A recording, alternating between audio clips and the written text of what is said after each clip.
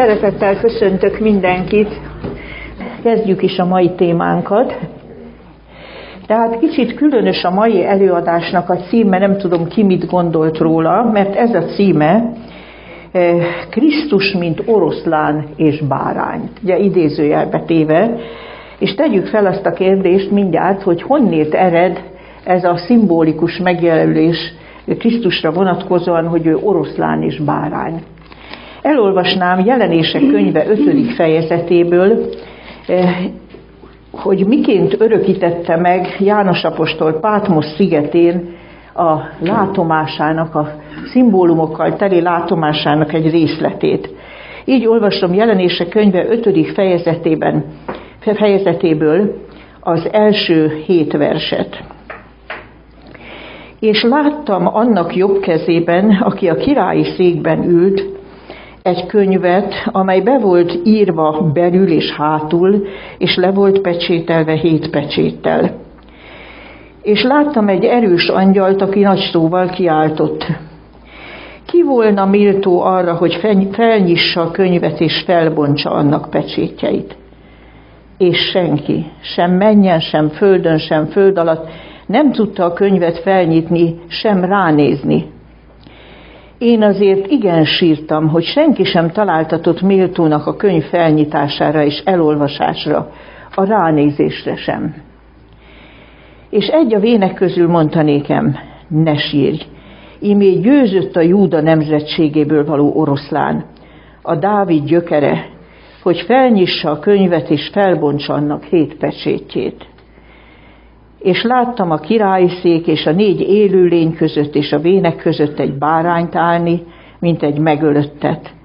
És a hetedik verset olvasom, és eljött és elvette a könyvet a királyi székben ülőnek jobb kezéből. Hát vajon mit ábrázol ez a szimbolikus látomás? Ugye ez a hétpecsétes könyv, ugye az atya kezében, aminek a súlyos tartalmát jelző, hogy kívül és belül tele volt írva, hogy ezeket a pergamenteket se gondoljunk természetesen, abban az időben lapokban összefogott könyv nem létezett, és ugye palimpszesznek hívták, amikor mind a két oldalára írtak egy pergamentekecsnek, és ugye le volt pecsételve hét pecséttel, és elhangzik a kérdés, hogy ki volna méltó, hogy felnyissa a könyvet, és felbontsa annak hét pecsétét. Mit ábrázolt jelképesen ez a könyv? A szöveg összefüggésből kiderül, hogy mintegy az emberre vonatkozó isteni megváltási tervet, amiről azt olvassuk, hogy az atya elkészítette magában, de mindaddig elrejtve volt ő benne, ő nála, amíg a bűneset meg nem történt, és a szükség fel nem lépett. És erre vonatkozóan hangzik fel tehát a kérdés, hogy ki volna méltó, hogy ennek a pecsétjeit felnyissa. Ugye kulcs ez a méltó, ami azt jelenti, hogy erkölcsileg alkalmas arra, hogy ami ebben van, azt megvalósítsa, vagy ami ebben van, azt levezényelje. És senki nem tud ezzel, erre a feladatra vállalkozni, de még csak ránézni sem. És János apostol nyilván nem értette teljesen, hogy itt miről van szó, de valahol megérezte, hogy az emberiség sorsa függ azon, hogyha ha senki nincs, aki ezt a könyvet felnyitni tudja, és megvalósítani, ami benne van, és azt mondja azért egy ilyen heves sírás fogta el látomásában, mint egy az emberiség elveszettségének a tudata hatotta át, és síratta az elveszett reménytelen embert. De mielőtt tovább olvasnám, még szeretnék rámutatni arra, hogy hogy megihlette ez a jelenések könyvében ez a jelenet John Milton-t, a 17. századi angol költőt, és az Elveszett Paradicsom című művéből csak egy kis részletet idézek. Tehát elhangzott az atya kérdése, hogy ki volna méltó, és így, így írja a, az elbeszélő költeményben, kérdezte, álltak néma angyalok Csönd lett az égben. Nem akadt az ember mentésére szószóló, még kevésbé, aki merne fej, merné fejére venni a halált, s váltságot adni az emberért. még egyszer elolvasom, nagyon szépen fogalmazta meg Milton, kérdezte, álltak néma angyalok, csönd lett az égben. Nem akadt az ember mentésére szószóló. Még kevésbé, aki merné fejére venni a halált, s váltságot adni az emberért. És mikor Jánost elfogja ez a sírás, egy az ott lévő közül vigasztaló szóval fordul hozzá, és azt mondja, ne sírj, ímé győzött a Júda nemzetségéből való oroszlán, Dávid gyökere, hogy felnyissa a könyvet, és felbontsa annak hét pecsétjét. Ugye ez a megszólalás egy még a Mózes első könyvében, Mózes első könyvben 49. fejezetében található ősi messiási proféciára utal. Ugyanis Jákob halál előtt megáldotta a fiait, és szólt a Júda oroszlányáról, akiről azt mondta, hogy majd a népek néki engednek, és akit Sílónak is nevezett, ugye ez a Sálomnak a régies alakja, békefejedelemnek. Tehát már ebben az ősi messiási proféciában is egy titokzatos ellentét volt, mert jön majd a Júda oroszlánya, akinek a népek engednek, de ugyanakkor békefejedelem a neve. E, és utána jön az egész jelenetnek a csúcspontja, mert ugye amikor elhangzik a vigasztaló szó, hogy győzött a Júda nemzetségéből való oroszlán, akkor most azt gondolnánk, hogy hogy hát hogy oroszlán jelenik meg a szívem, vagy valami ilyesmi. Erre egy totális ellentétként egy megölt, egy áldozati bárány, azonban áll a lábán, és oda megy a trónon ülőhöz, és elveszi a kezéből a hétpecsétes könyvet. És aztán leírás úgy folytatódik, hogy akkor azonnal felzeng a hálaadó örömének a, a, az angyalseregek részéről. Tehát akkor sejtjük, hogy honnét van ez a kép, hogy oroszlán és bárány. Itt szerepel ez a kettős kifejezés Krisztusra vonatkozóan. És így csak felmutatom, ha valakit érdekel, tudok neki szerezni. Ez egy gyönyörű kis írás, egy nagy élvezettel olvastam. Jonathan Edwards, észak-amerikai protestáns igehirdető volt a 18. század, az században, az ottani úgynevezett nagy ébredésnek az egyik e, inspirálója, és ő írt egy nagyon szép kis írást ezen a címen, Oroszlán és bárány Krisztus szépsége, ez, a, ez az alcíme. Nagyon sok mély és igaz gondolat van ebben a kis írásban. E, nos tehát, akkor tegyük fel ezt a kérdést, hogy miért adtam én a mai előadásnak ezt a címet, miért vettem elő ezt a szimbólumot? Azért, mert arra szeretném ráirányítani a figyelmet, hogy a mai kereszténység körében nagyon egyoldalúvá deformálódott a Krisztusról alkotott kép. Mondjuk ezt így tudnám kifejezni, hogy csak a bárány Krisztusról tud a mai kereszténység, de az oroszlán Krisztusról nem. Mert mit is értsünk azon, hogy ő nem csak áldozati bárány, és nem csak a szelítségnek a megtestesítője, hanem ő egyben oroszlánként is ábrázolja az írás. Ugye ez utal arra, hogy ő azzal együtt, hogy emberré lett és megalázta magát egészen a keresztfa haláláig, ő az univerzum, a Föld és az ember teremtője, ahogy erről korábbi előadásokon szó volt. Ő a végítéletnek a bírája, ahogy mondta, hogy az atya az ítéletet egészen neki adta, és végül ő az, aki királyok királyaként ígérte, hogy visszatér a földre végső igazságszolgáltatásra és hatalom átvételre.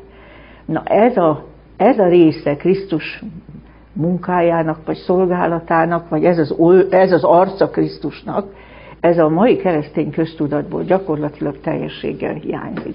A mai Krisztuskép általában az, hogy Krisztus végtelenül toleráns, eh, mindent megért, mindent elfogad, ami emberi, annyira humánus, hogy a bűnnel is kiegyezik, eh, azt is tudomásul veszi. Eh, ez a korunk kereszténységének a, a tipikus emberképe. Egy múlt századi protestáns szerző Francis Scheffer nagyon találóan azt írta, én már szinte félek a Jézus szótól, mert a Jézus szónak annyira eldeformálódott a tartalma. Annyira nem az a hiteles biblikus tartalom, amely az írásban Jézus nevéhez kapcsolódik. És most felteszem azt a kérdést, eh, hitelese vagy helyén való -e ez a Krisztus kép, hogy Krisztus oroszlán és bárány.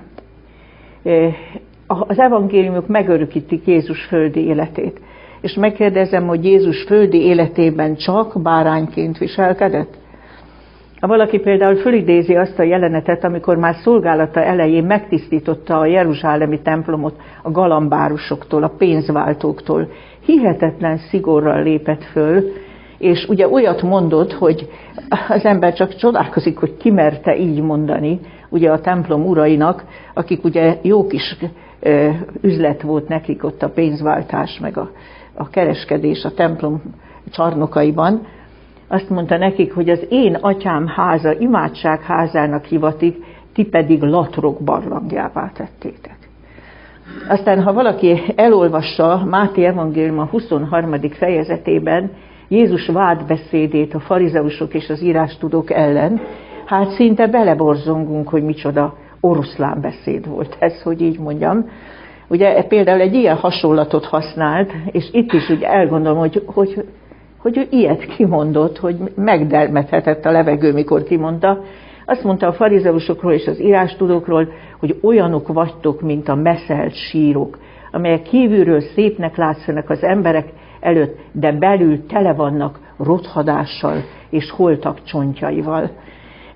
Na most ezt a képet akkor értjük meg, hogy tudjuk, hogy az általános építkezés a zsidóknál, tessék, lehet nyugodtan, van még elő is hely.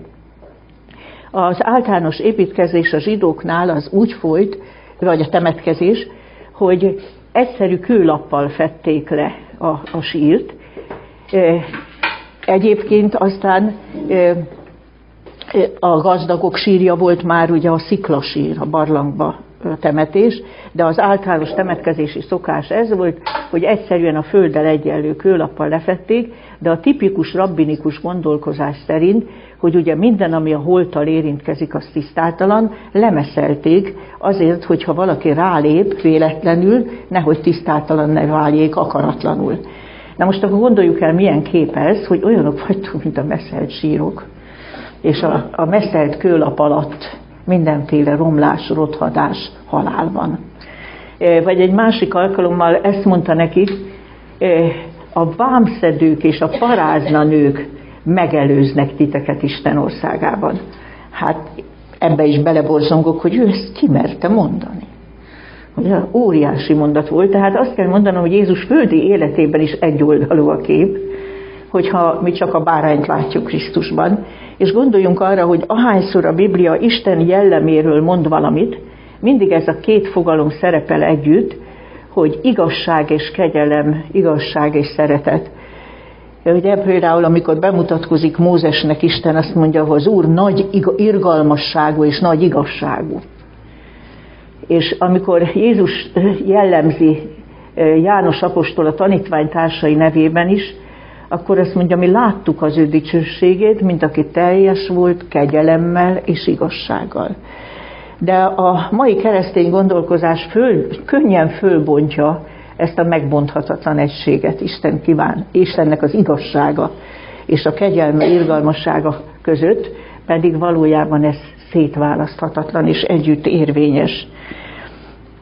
És szeretnék szólni arról, ezeknek az előre bocsátása után, hogy mit is mond a Biblia e, Jézus visszajövetelének a nagy ígéretéről. Először talán magának a Jézusnak a kijelentéseiből idéznék, ugye és azért is vezettem be ezt ezzel, hogy Jézus oroszlán és a bárány, mert amikor a visszajöveteléről beszélt, akkor egyértelművé tette, hogy ott az ő oroszlán vonása kerül előtérbe, amikor ő, ő visszatér végső igazságszolgáltatásra és hatalomátvételre. Idézném először Máté evangélium a 26. fejezetéből, tehát Máté a 26. fejezetéből idézem, hogy amikor kihallgatják, ugye Kajafás főpap előtt, akkor végül a főpap türelmét veszti, mert eh, hiába hoznak hamis tanukat, Jézus csak hallgat, és, és nem tudják, eh, nem tudnak semmi olyasmit rábizonyítani, hogy az ellentmondó hamis tanuk által sem, hogy okot találjanak a Krisztus halálra adására. És ekkor mint egy rárivall a főpap Krisztusra, és ezt mondja, az élő Istenre kényszerítelek téged, hogy mondd meg nékünk, te vagy a Krisztus. Ugye görögül a Krisztus az ugyanaz, mint éberül a messiás. Vagyis te vagy a messiás, az élő Isten fia. Jézus erre csendesen azt mondja, te mondtad. Ugye, amivel arra utol, olyan, ez mutatja, hogy a lelkismeretben tudod, vagy az értelmed mondja, mert olyan pontosan fogalmaztad meg a kérdést. És utána így folytatja, sőt, mondom néktek, mostantól fogva meglátjátok az emberfiát ülni az Istennek hatalmas jobbján, és eljönni az ég felhőiben. Nem sokkal korábban hangzott el Jézus beszéde az olajfák hegyén, ugye a tanítványai kérdésére, hogy micsoda jele lesz a te eljövetelnek is a világ végének, itt pedig így szólt az ő eljöveteléről. Így olvasom a Máté Evangélium a 24. fejezetéből a 29. és a 30. verset. Mindjárt pedig a manapok nyomorúságai után a nap elsötétedik, a hold nem fénylik, a csillagok az égről lehullanak, és az egek erősségei megrendülnek és akkor feltetszik az ember fiának jele az égen. Akkor sír a föld minden népe, és meglátják az ember fiát eljönni az ég felhőiben, most figyeljünk, nagy hatalommal és dicsőséggel. Ugye ezért mondta, hogy Jézus mindig úgy szólt az ő eljöveteléről, mint ahol az oroszlánvonás eh, kerül előtérbe. És tegyük fel azt a kérdést, hogy sokat hallunk mi ma erről.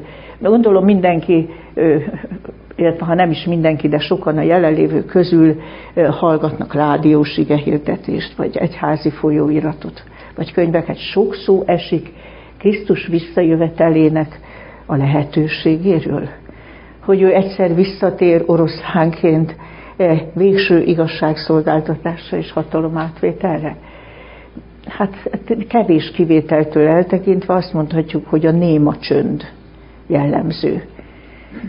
És ez annál is inkább érdekes, mert azért szinte minden felekezet Isten tiszteletein, temetésein felhangzik a hiszek egy, aminek egy része ugye így hangzik, hogy Krisztus felment a mennybe, onnan lészen eljövendő, ítélni eleveneket és holtakat. De ez annyira elkopott, hogy szinte semmi nem realizálódik abban, amikor hangzik, és mivel nem erősíti meg igehirdetés, tanítás, ezért ez egy teljesen súlytalan, valószerűtlen dologgá válik, még ha hangzik is a hiszen észek egyben. És azt a kérdést is tegyük fel, hogy mi lehet az oka ennek a nagy csöndnek. Ugye hozzáteszem azt, hogy a világunk katasztrofális válságban van. Erről érdekes volna, nem annyira egyházi emberek beszélnek, de drámai hangvétellel a tudósok, a szakértők. És, és még ezzel kapcsolatban is véletlenül sem merül föl, hogy netán, nem éppen közeledünk ehhez a nagy eseményhez, ami a végső megoldást hozza. Még így sem merül fél, még ilyen halványan sem. És mi ennek az oka? Az az oka, hogy ennek a reménységnek, hogy majd ő lesz a megoldása, a végső megoldása a történelemnek, elfoglalta a helyét egy másik reménység, vagy másik várakozás. Ez egy olyan várakozás vagy reménység, ami azt mondhatjuk, hogy a konstantinuszi fordulat óta mindig jelen van a kereszténység történetében. És miről is szól ez? Arról, hogy egyszer csak a történelemben a keresztény eszme győzni fog, egyszer csak a kereszténység teremt egy valódi keresztény civilizációt, és ez egy jobb világ lesz, még itt a földi történelemnek a keretében. Most nem akarom fárasztani a tisztelt hallgatóságot azzal, hogy végig mondjam, hogy hányféle formában jelent meg ez Augustinustól elkezdve, ugye többnyire úgy, mint egy ilyen a hogy a jelenések könyve 20. fejezetében szereplő milleniumot értelmezték úgy, hogy ez egy aranykorszak lesz a Földön, ami ugyan még nem Isten országa, de már sátán megkötözve van, korlátozva van a hatalma, és Krisztus uralkodik az ő papjaival. És ezt szinte szó szerint értették, ugye, hogy, hogy itt a földi történelemben uralkodni fog Krisztus az egyház és az egyház képviselői által. És ugye most gondoljunk arra, hogy hátunk mögött van már a, a, a hogy így mondjam, a kemény racionalizmus korszaka, a materializmus, ateizmus, szekularizáció korszaka, van egy új vallási reneszánsz. Ugyanakkor a világ pedig válságban van. Ellenállhatatlanul halad előre a globalizáció, de, de viszont esnek szét az emberi társadalmak, közösségek, megoldatlan a helyzet. És, és a világi hatalom képviselői és szövetségeseket megoldást keresnek. És ebben a helyzetben ez a régi-régi keresztény eszme, nem is, mert igazából nem valódi keresztény eszme, hanem így mondanám, kereszténységben meghonosodott várakozás vagy reménység nagyon felerősödött. Biztos vagyok benne, hogy valamikor idéztem már, de olyan jellegzetes ez az idézet, hogy ezt szeretném elolvasni. Jörg Cink, egy németországi protestáns teológus, aki pár éve halt meg, talán nem is sok, talán csak vagy két éve, és itt megjelent a könyve Egyetemes Egyház, de mikor címen a Calvin kiadó adta ki 2003-ban. És ennek az utolsó lapjáról olvasok egy mondatot. Ha a lélek vezérel bennünket, akkor nem olyan uralomban reménykedünk, amely majd egyszer valamikor eljön, hanem azért könyörgünk, hogy Isten országa épüljön bele e föld uralmi rendszereibe. Elég világos beszéd? Na ez a reménység, ez a várakozás foglalt el a Krisztus visszajövetele várásának a helyét. Még sokkal markánsabban jelenik meg ez a reménység. 16. Benedek pápa Caritas in Veritate kezdetű enciklikájában, ugye ez azt jelenti a Caritas in Veritate, hogy szeretet az igazságban. És ez egy hihetetlenül érdekes enciklika, ezt érdemes első betűtől az utolsóig elolvasni, és ebből például olvasok pár sort. Súlyos hiba lenne alábecsülni az embernek azt a képességét, amelyel ellenőrzést gyakorolhat a fejlődés torzulásai felett. Vagy egyenesen tudomást sem venni a tényről, hogy az ember belépi, belső felépítésénél fogva arra irányul, hogy több legyen. Vagyis mit is mond ezzel, hogy nincs olyan alapvető végzetes baj az emberi civilizációval, ugye az emberben benne van az, hogy több legyen, ne becsüljük alá az embernek azt a képességét, hogy a fejlődés torzulásait kijavítsa, tehát jó ez a fejlődési pálya, csak bizonyos javításra szorul. És azt is megmondja, hogy mire. Azt mondja, hogy ha, ha kimaradnak az egyházak, kimarad a vallás a, a civilizációs törekvésekből, akkor ez egy elembertelenedő humanizmus de azt mondja, transzcendens humanizmusra van szükség. Tehát amiben belevonjuk Istent, a vallást, és akkor ezeket a hibákat ki tudjuk javítani, és mehet szépen a fejlődés pályáján előre tovább az emberi civilizáció. Minden, gyakorlatilag minden ma fennálló problémát sorra vesz, és mindenhez van kommentárja. Ezt közben nem említettem, hogy 2009-ben jelent meg ez az enciklika, tehát nem régen, 2009-ben, és ebből például csak egy pár sort olvassak, hogy milyen egészen konkrétan fogalmaz. Sürgetően szükséges, hogy létezen, oly, létezzék olyan valódi politikai világtekintély, valódi politikai világtekintély, amelyről már elődöm, a boldog emlékezetű 23. János beszélt ilyen tekintélynek mindenki által elfogadottnak kell lennie, valóságos hatalommal kell rendelkeznie. És képesnek kell lennie, hogy megvalósítsa az erkölcsi rendnek megfelelő társadalmi rendet, és irányítsa a globalizációt. Ezt a kifejezést is használjuk világkormány.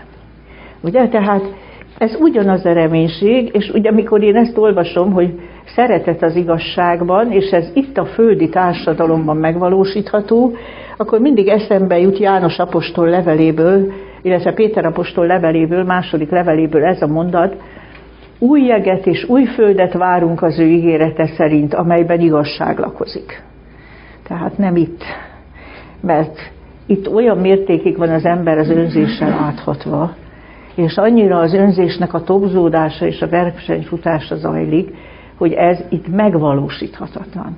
De most a kereszténységet áthatják ezek a reménységet, mert a történeti konstelláció hasonlít a Konstantinuszi kar, kar koréhez bizonyos mértékben, a omladozó, bomladozó emberi civilizáció, társadalom, eh, hiányzik valami összetartó erő, hiányzik valami ideológia, amiből még nem ábrándultak ki az emberek, és, és most ez a reménység nagyon erős. Tehát ez az oka annak, hogy csönd van.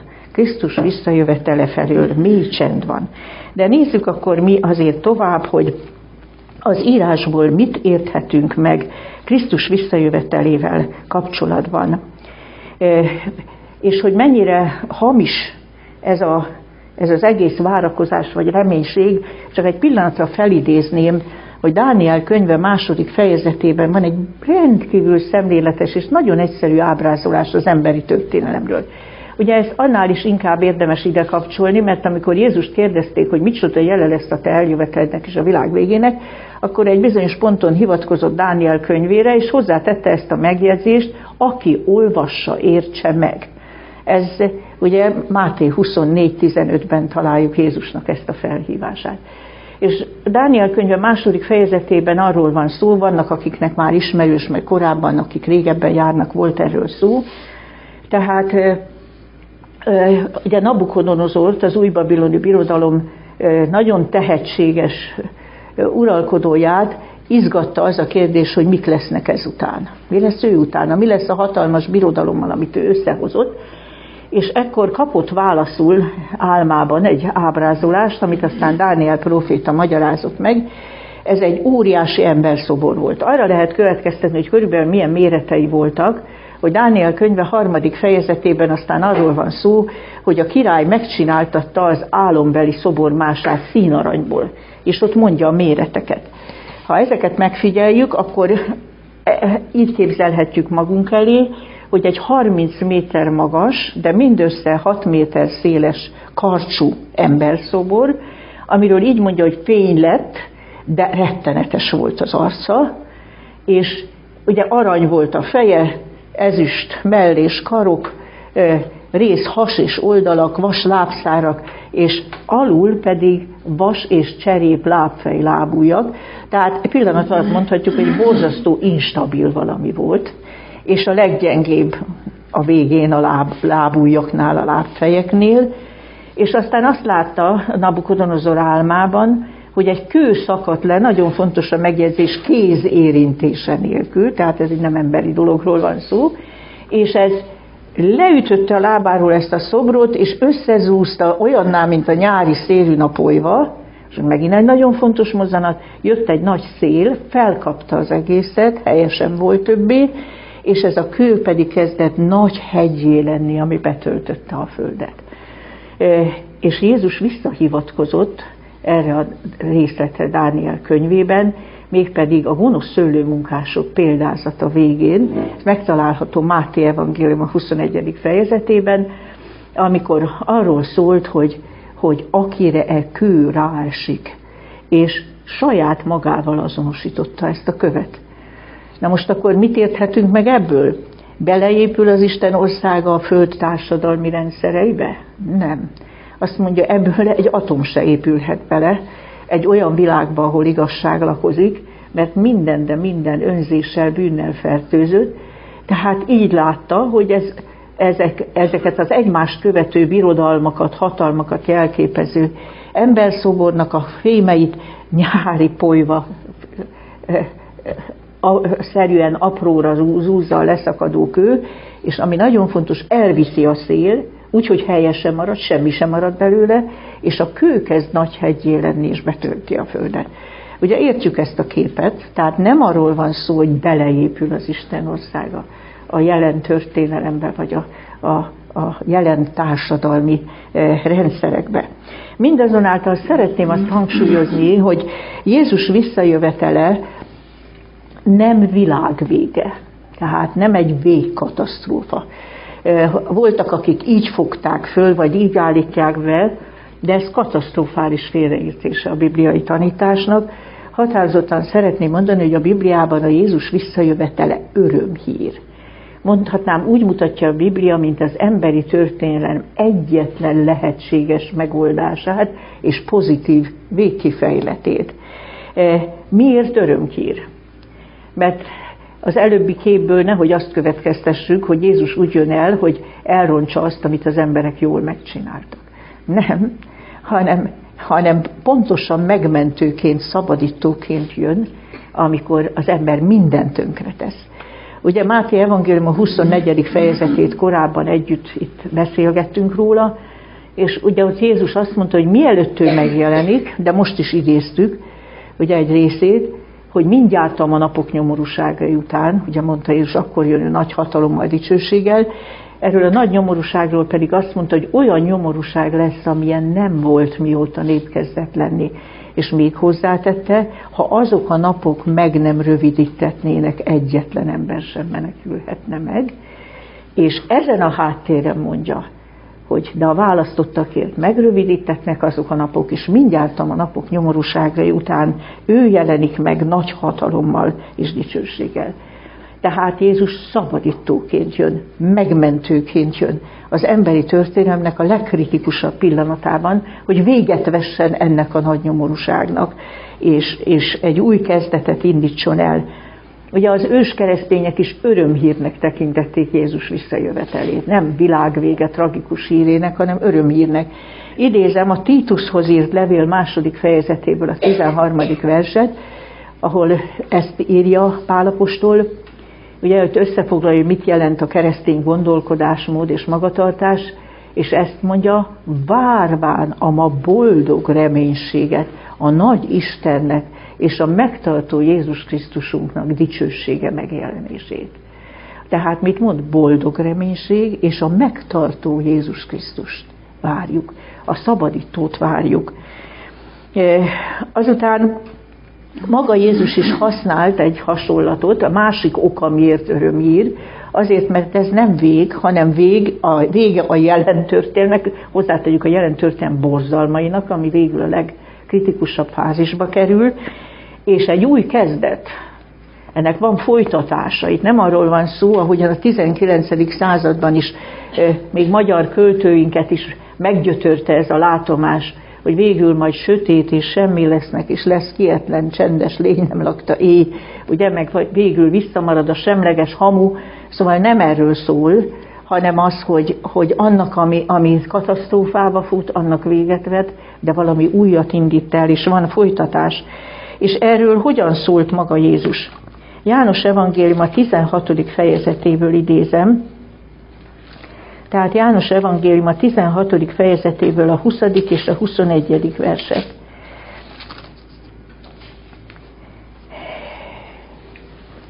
talán elég is, hogyha csak a 21-et és a 22-t olvasom. Az asszony, amikor szül, szomorúságban van, mert eljött az ő órája. De mikor megszüli az ő gyermekét, nem emlékezik többé a kínra, az öröm miatt, hogy ember születette világra.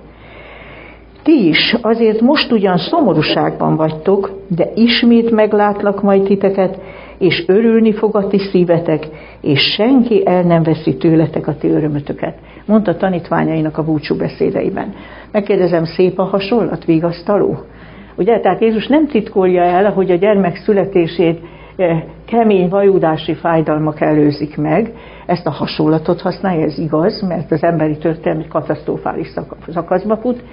De azt mondja, ki emlékszik többé a kínra, amikor a gyerek megszületik, ugye, az öröm miatt, hogy ember született a világra. Azt mondja, ilyen lesz az ő, az ő szabadító megjelenése, hogy mint a lefutó víz, szóra sem érdemes, ami megelőzte ezt, itt van a, itt van a nagy megoldás, itt van a nagy szabadítás. Azután még egy dologra hívnám fel a figyelmet, Ugye emlegettük, hogy Krisztus azért is nevezi oroszlánnak is, mert ő a végítélet bírája, ahogy mondta, hogy az atya az ítéletet egészen neki adta, de egy óriási tévedés a végítéletet úgy felfogni, hogy az büntetéseknek a kiosztása, és hogy az valamilyen rettenet a végítélet. Ugye valljuk meg a keresztény köztudatba ez él. Ugye? Még gondoljunk a középkori himnuszra is, a Dies Iri, a halag, harag napja, ugye? És ez, ez jellemző, de a Szentírásban a végítéletről szóló kijelentés az szintén örömhír. Hogy ez a történelem nem zárul le egy végső, monumentális és tökéletesen igazságos igazságszolgáltatás nélkül. És, és hogy ez mindent helyre tesz, és mindent világossá tesz. Például hadd idézzek a 96. Zsoltárból és a 98-ból, Ugye erről a bizonyos egyetemes végítéletről, meg Jézus visszajöveteléről már az Ószövetségben is nagyon sok részlet szól, és figyeljük meg, hogy a végítéletről örömhírként beszél. Nem tragédiaként, nem félelmetes dologként, hanem örömhírként.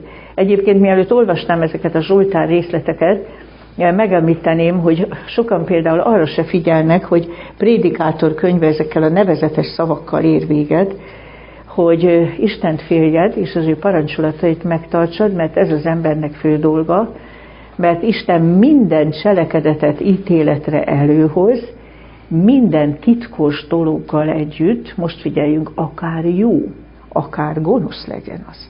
Tehát ez nem büntetésosztogatás, egy, hanem akár jó, akár gonosz, és mindent előhoz, és mindent helyére tesz, és mindent tisztába tesz. És ugye az írásban olvassuk, hogy ebbe ennek egy szakaszában megváltottakat is belevonja, hogy ők is értsék, hogy az Isten a végzéseinek a miértjeit és az okát.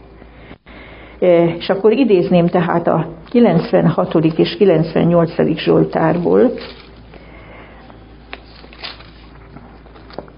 és egyáltalán hogy is kellene rettegni olyan ítélettől, amelynek Krisztus a bírája, nem? Hiszen az a valaki az ítélő bíró, aki, aki életét tette azért, hogy aki csak hisző benne el ne veszen, hanem örök élete legyen. És például egy nagyon szép messiási profécia Ézsaiás könyvében így szól az eljövendő messiásról. Ő igazságban ítéli a gyöngéket, és tökéletességben bíráskodik a föld szegényei felett. Nem bátorító? Figyelembe veszi a gyengeségeket, nem egyszerűen a, a tények és a törvény, nem ilyen ítélet ez. Azt mondja, igazságban ítéli a gyöngéket, és tökéletességben bíráskodik a föld szegényei felett. Így olvasom a 96. Zsoltár utolsó szavait, a 11-től a 13. verset. Örüljenek az egek, és örvendezzen a föld, harsogjon a tenger, és minden benne való. Viduljon a mező, és minden, ami rajta van. Örvend akkor az erdő minden fája is, az Úr orszája előtt, mert eljön, mert eljön, hogy megítélje a földet. Megítéli a világot igazsággal, és a népeket az ő hűségével mintha azt mondaná, még a természetnek is felszabadulás ez. E, ennek örülni kell, hogy eljön, eljön, hogy megítélje a Földet. Megítéli majd a világot igazsággal, és a népeket az ő hűségével. A 98. Zsoltár vége nagyon hasonló. Azt mondja, trombitákkal és kürzengéssel vigadozzatok a király az Úr előtt harsogjon a tenger, és minden benne való, a világ, és akik lakoznak abban. A folyóvizek tapsoljanak, a hegyek együttesen örvendezzenek az Úr előtt, mert eljön megítélni a földet. Megítéli a világot igazsággal, és a népeket méltányossággal. Tehát így, így próbáltam erős hangsúlyt tenni arra, hogy Jézus eljövetele az nem végkatasztrófa, az megtartó, szabadító eljövetel, és, és örömhír mindenképpen. És azzal zárnám a témánkat, hogy azért is örömhír Jézusnak a visszajövetele, mert ugye mondtuk, hogy a végítélettel kapcsolódik össze, de az írás szerint a végítéletnek egy szakasza eh, lezajlik még Krisztus eljövetele előtt. Ez például Jézus nagy számunkra láthatatlanul a mennyei ítélőszék előtt. Ugye ezt Jézus nagyon világossá tette például a menyegzői ruháról szóló példázatában, amikor azt mondta, még mielőtt a menyegzőre, ugye, Krisztus a vőlegény és az ő hívő népet találkozására, egyesülésére sor kerülne, ugye a jelképes beszéd szerint, a király megtekinti a menyegző vendégeit, hogy kinek van menyegzői ruhája, ki alkalmas ezen való részvételre, és ki nem. És amikor Jézus jön, ez már az ítéletnek egy végrehajtó eseménye. Ez is egy nagy tévedés. Legtöbben úgy képzelik el az utolsó ítéletet, ahogy Michelangelo megfestette a Sixtus kápolna oltárképén. Ugye van ott a kép tetején egy ilyen erőteljes fiatal Krisztus alak, jobb kezénél ott az üdvözültek, emelkednek föl bal kezénél, a kárhozottak kavarodnak lefelé, és úgy gondolják, hogy ez, ez egy pillanatnak vagy egy napnak az eseménye. Nem. A Biblia úgy mutatja be a végítéletet, mint egy monumentális művet, amelynek vannak vizsgálati szakaszai és végrehajtó eseményei. És Krisztus visszajövetel ez egy végrehajtó esemény. Mert így mondja az írás, akkor feltámadnak az ő eljövetelekor azonnal, vele egy időben mindazok, akik meghaltak voltak Krisztusban. Úgy is mondja az ige, akik méltóká tétettek, hogy elvegyék az első feltámadást, hogy abban részesüljenek. Hát gondoljuk meg, hogy micsoda, micsoda örömhír a Krisztus visszajövetele, hogyha az a, a, mindazok, akiket Isten alkalmasnak talált, hogy az örök élet örökösei legyenek, az ő alapos, gondos vizsgálati ítéletében, azok feltámadnak, mégpedig magasabb rendű örök életre alkalmas testben. Viszontlátások vannak emberek között, és Krisztussal való személyes találkozás. Ugye Pálapostól erről így ír a Korintusi első levél 15. fejezetében, hogy mit jelent Krisztus eljövetele innét nézve is, tehát a Korintusi első levél 15. fejezetéből olvasom. Tehát ahogy ahogy megszülettek a felmentő ítéletek, ugye, tehát így tudnám mondani, hogy, hogy be kéne talán valamelyik ajtót csukni, mert húzat, erős húzat kell venni. Igen. Köszönjük szépen.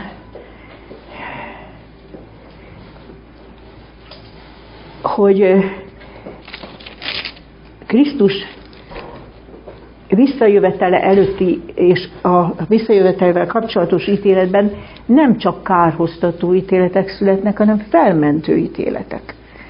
Ugye? Tehát Pálapostól is mire várt?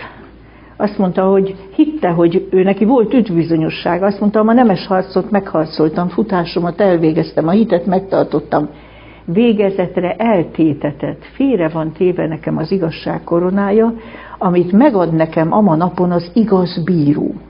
Nem csak nekem pedig, hanem mindazoknak, akik vágyva várják a megjelenését. Tehát Pálapostól tudta, hogy, hogy hitte, hogy Isten őt elfogadta és neki örök életet ad, de azt mondta, bíró kezéből kell nekem is megkapni a felmentő ítéletet, mert egy bűnnel fertőzött teremtmény ilyen felmentő ítélet nélkül az örök élet részese nem lehet. És nekem várnom kell addig a Jézus megjelenésig, amikor majd az igaz bíró megadja nekem az igazság koronáját. A korintusi első levél 15. fejezetében így írja le Pálapostól ennek a, ennek a haláltól való szabadulásnak és viszontlátásnak és a Krisztussal való találkozásnak az örömét. Ezt írja. A 54. 55. verset olvasom. Mikor pedig e romlandó test romolhatatlanságba öltözik, és e halandó halhatatlanságba öltözik, akkor beteljesül az íge, amely megvan írva. Elnyeletett a halál diadalra. Halál, hol a te fullánkod? Pokol vagy sír, hol a te hatalmad? Hasonlóképpen írja Pálapostól is a, a Filippi beliekhez írt levél harmadik fejezete végén, olyan, mint egy nagyon szép keresztény hitvallás, Filippi 3.20-21-ben ezt írja, ami országunk a mennyben van, ahol nét a megtartó Úr Jézus Krisztust is várjuk, aki elváltoztatja mi nyomorúságos testünket, és hasonlóvá teszi az ő dicsőséges testéhez ugye a feltámadott emberfia testéhez. Tehát lehetetlen, az, ha az írásból indulunk, lehetetlen másképp nézni Krisztus visszajövetelét, mint a legnagyobb örömhírt, mint, mint a legnagyobb ígéretet. És semmiképpen valami komor, borús, félelmetes végítéletet vagy, vagy végkatasztrófát. Én úgy gondolom, hogy tényleg reálisan azt lehet mondani, hogy a mi civilizációnk, a mi történelmünk, a mi világunk számára az egyetlen reális reménység ennek az ígéretnek a teljesedése. Vagy valaki mer bízni, hogy az ember kijavítja, kijavítja a fejlődési hibákat. Ha teszem azt, a, a, megoldanák az ökológiai problémát, ami hihetetlen. Ha, ha teszem azt, a gazdagok és szegények közötti óriási szakadékot és hézagot megold, és konfliktust megoldanák valahogy. Hogyha ha, e, mindenféle ilyen civilizációs betegséget ki tudnának iktatni, és stb. Az embernek a gondolkodásán, a mentalitásán, az embernek az elfajulásán lát valaki remény, reális reményt arra, hogy ezzel lehet segíteni. Ugye Jézus nem véletlenül mondta, hogy az ő eljövetele világ hasonló lesz a Noé napjaihoz, meg a Lót napjaihoz, amikor Isten se látott más megoldást, pedig mindent megtett azokért a nemzetékekért, mint egy igazságszolgáltatásra való beavatkozást. Tehát én azt gondolom, hogy ha ez nem lenne, akkor amit mondanak a szakértők és, a, és akik, akik átfogóan gondolkoznak az egészről, akkor kétségbe kéne esnünk akkor azt mondanák, minek születnek a gyerekek, az unokák, stb. Az egyetlen reális remény ez az ígéret, és ezt fejezik egy gyönyörűen jelenések könyvében, hogy Jézus kétszer is ezt mondja. Én vagyok az alfa és az omega, a kezdet és a vég. Hát nem óriás örömhír ez, hogy azt mondja, én vagyok az omega. Tehát eh, eh, ha más lenne a vég, akkor rettenhetnénk meg de azt mondja, én vagyok az alfa, és mintha azt mondaná a teremtő, ugyan erőszakosan nem avatkozik a történelembe, de, de viszont ha ezt nem is teszi, nem azt jelenti, hogy elfeledkezik arról a földről, amit ő teremtett, és kiejti a kezéből, és hagyja végzetes pusztulásba azt a földet, amit valamikor ő teremtett, hanem azt mondja, én vagyok az alfa, én vagyok az omega, a kezdet és a vég. És még egy utolsó jó hír, ugye beszéltünk arról, hogy ma mély csönd van erről.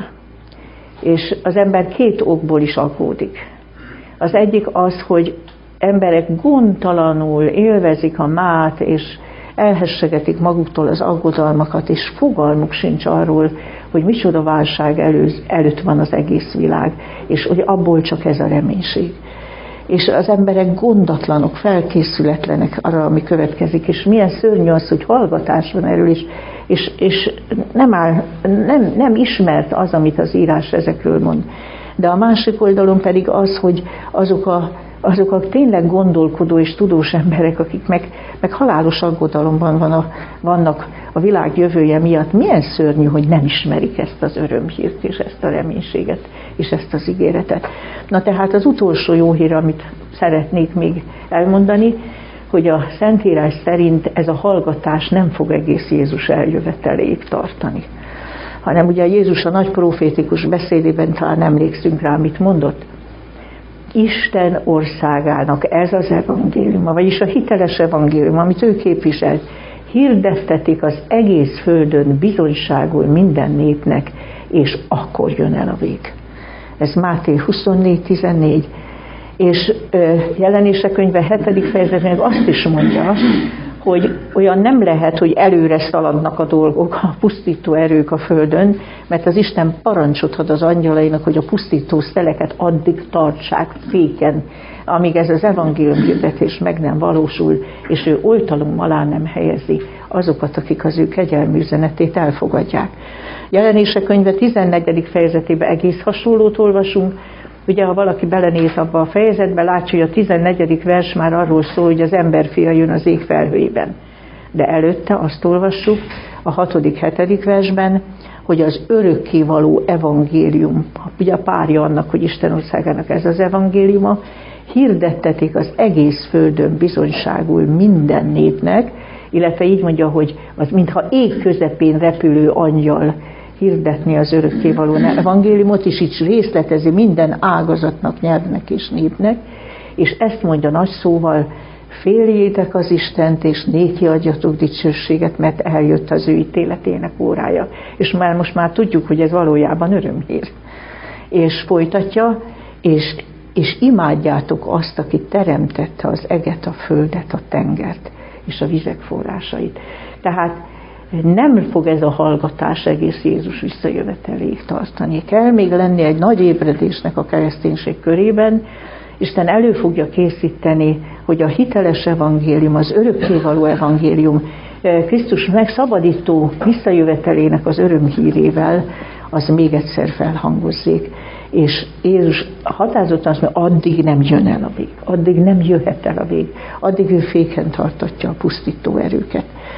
Hát köszönöm szépen a fegyelmet, itt fejezzük be, és hát ez is olyan téma, hogy bőven lehetnek kérdések, hozzászólások, én pedig várom ezeket.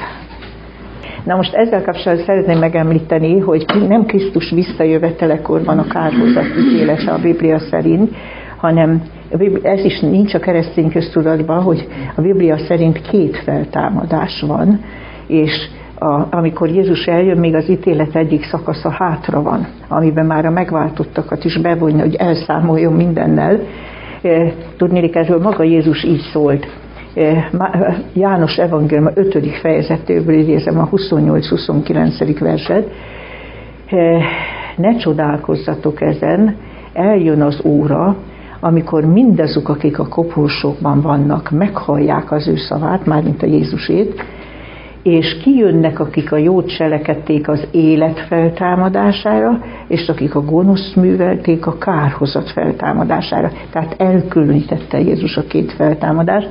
Egyiket az életre, örök életre való feltámadásnak nevezte, másikat pedig a kárhozat feltámadásának. Aztán Pálapostól is, meg jelenések könyve is használja ezt a kifejezést, hogy boldog és szent, akinek része van az első feltámadásban mármint Jézus eljövetelekor, azt mondja, a többi halottak pedig nem elevenednek meg, míg betelik az ezer esztendő.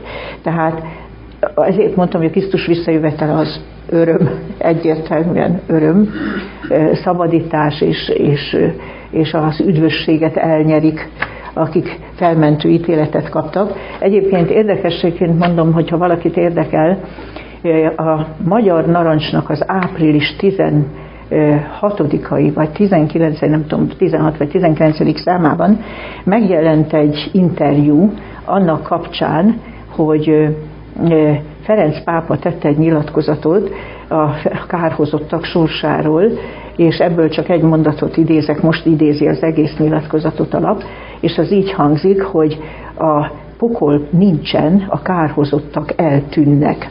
Na ebből lett aztán egy kavar, kavarodás, mert ugye ellenkezik a hagyományos tanítással, és rövidesen a Vatikán visszavonta, nyilatkozott, hogy a újságíró értette félre a pápát. De aztán Mártonfi Marcellel van a, a, az interjú, akit én is személyesen ismerek, egy, egy, egy, egy hogy mondjam, szabadabb elvű és jó szándékú római katolikus teológus, és ő aztán nem mondja azt, hogy ez teljes félreértés, amit a pápa mondott, és hát magyarázza hosszan. Amikor elolvastam a cikket, gondoltam, hogy erre szólni kell, úgyhogy írtam rá egy választ, egy olvasói levelet, és már vissza is jelezték, hogy egy közeli számban leközlik.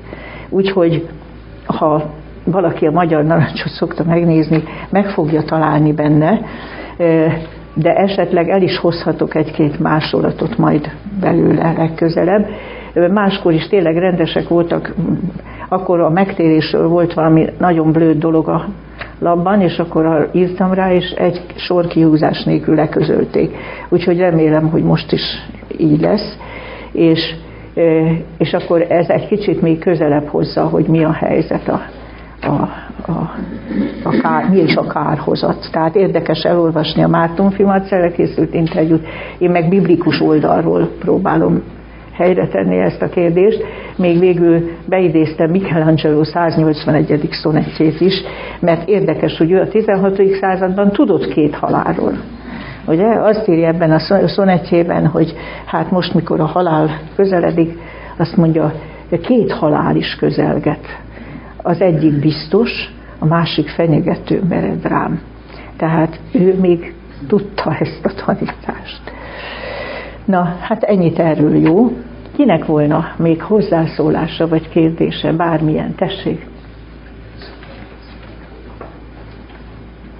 Na, én Köszönöm. nagyon örülök az ilyen kérdésnek, mert aki ilyet kérdez, abban az van, hogy valóságnak tekinti ezt, és akkor gondolkozik, hogy hogy lehet ez a valóságban ilyen alapon azt is akár lehetne kérdezni, és hát akik a viszontlátást várták, hogy fogják egymást megismerni, vagy, vagy hát ugye mondta Krisztus, hogy ahogyan a, a feltámadott Krisztus egy magasabb rendű örök életre alkalmas testben jelen, nem van a roncsolt testben, amiben ugye őt a sírba tették, és azt mondja az írás, hogy, hogy romolha, feltámasztatik romolhatatlanságban, de mégis az, hogy lehet ezt elképzelni? Hát először is nekem hitelre méltóvá teszi a Bibliát, hogy ezekről semmi kiszínezett részletezés nincs a Bibliában. A leglényeget mondja el, de meg se próbálja a mi emberi fogalmainkkal részletezni. De valami lényegeset azért mégis mond. Ugye a Bibliában szó van arról, hogy Jézussal jönnek, így, mondja, így mondta maga Jézus, hogy ő majd beül az ő dicsőségének királyi székébe, és vele a szent angyalok mind és ugye az angyalokról korábban itt is többször volt szó, hogy a Biblia szerint e, magasabb rendű lények, mint az ember, és a megváltási tervben együtt dolgoznak, együtt küzdenek Istennel. Ugye Jézus mondott ilyet, hogy öröm van a mennyben Isten angyalainak színe előtt egy bűnös ember megtérésén. Aztán Jézus ilyet is mondott a gyermekekről, hogy az ő angyalaik minden nap látják az én mennyei atyám arcát és nincs ok feltételezni, hogy, hogy, nem csak, hogy csak a gyermekeknek lenne személyes angyaluk. Valahol azt mondja a Biblia, hogy vigyázz, ne mondd az angyal előtt, hogy tévedésből esett, hogy Isten fel ne háborodjék a te beszédeden. Tehát úgy is mondja, hogy az angyalok az életünk tanúi is. És hogy belejönnek a szent angyalok mindenről, tömören csak összesen ennyit mond a Biblia, pont maga Jézus mondta, Máté 24-ben olvassuk, és egybegyűjtik az ő választottait az ég egyik szélétől a másikig. Ugye ez egy tömörített, egyszerű mondat, de én azt hiszem, ebben több van benne. Én úgy gondolom, hogy az angyalok fognak segíteni ebben. Hogy, hogy találkozzanak, akik a találkozásra vágytak, hogy ez nem egyszerűen egy ilyen seregberendezés lehet, valószínű ez van mögötte, meg hogy a különböző korok emberei, meg, meg egyáltalán föl tudják dolgozni az emberek azt, ami velük történt. Ugye így is mondja Pálapos, hogy eltemettetett az ember erőtlenségben, feltámasztatik erőben, dicsőségben. Hát akkor olyasmire lehet utalni, mindenki a legideálisabb fiatal mi voltában támad fel, nem pedig úgy, ahogyan letette az életét. Ugye most, ha az ember megy osztálytalálkozóra, akkor csodálkozik, hogy nem csak hogy a többiekkel is egy öregebb osztályjal találkozik, ugye, hát jé, ő, most ő az, ugye, de, de visszafelé ezt már nem tudjuk elképzelni, hogy az idősből visszafelé, visszafiatalodva, ugye, erre nincsen példa, tehát én azt hiszem, hogy az Isten angyalai nem díszkíséretnek jönnek, hanem mindegyiknek így tudom megkérdezni, hogy Istennél forgatókönyve van ennek az egésznek, olyan precízen kidolgozott, mint Istennek minden terve, és valahol, valahol ők játszhatnak szerepet abban, hogy ezt, ezt hogyan fog az egész lebonyolódni. Ugye hát vannak, akik Jézus nevét se ismerték, régi korokban éltek, vannak, akik fogalmuk sincs, hogy itt mi történik, hiszen a teljes evangéliumot nem ismerték. Jézus azt mondta, még napkeletről, napnyugatról, északról, délről, a pogányok közül is tesznek, akik Ábrahámmal, Izsákkal telepszenek le Isten országában, mert Isten az evangélium ismerete nélkül is egyfajta újjászületést véghez tudott bennük vinni a Szentlélek munkája által, amire ők nyitottak voltak. Tehát ez tényleg egy, egy csodálatos dolog. Arra is gondoltam sokszor, hogy jó, hogy a megváltottak újjáteremtett testet kapnak, mert különben fizikailag nem bírnák ki ezt az örömet és ennyi változást feldolgozni. Ugye Jézus azt mondta, ez volt az egyik nagyon szép mondata, akkor az igazak fénylenek, mint a nap az ő atyuknak országában. Hát, ha valakire azt mondjuk, hogy nagyon örül, akkor azt mondjuk ragyog az örömtől. Ha most valami kifejezhetetlen örömet akarok mondani, akkor mit mondhatok mást? Fénylenek, mint a nap. De én szerintem a jelenlegi törékeny testünkben ki se bírnánk ekkora változásokat, eh, még ekkora örömet sem tudnánk földolgozni, és eh, ezért, ezért ez, ez, ez már túl van a mi földi szféránkon és annak a lehetőségein, és bizalmat ad hozzá a Biblia, ezt nem részletezi. Tehát messzebb mi sem mehetünk, és semmit nem mondhatunk biztosan, csak azt, hogy az ilyen tömör mondatok mögött, hogy összegyűjtik az ő választottait, valószínűleg az van, hogy nekik komoly szerepük lesz abban, hogy hogy bonyolódik le ez az egész.